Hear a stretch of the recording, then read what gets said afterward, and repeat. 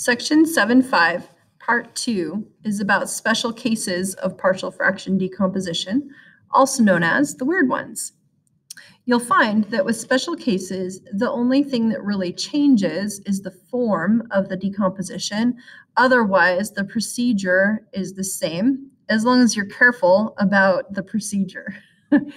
uh, for example four, I'd like for you to look at the form that I've set out for the partial fraction decomposition of 2x minus 3 divided by x squared minus 2x plus 1 and figure out why that can't possibly be the form of the decomposition.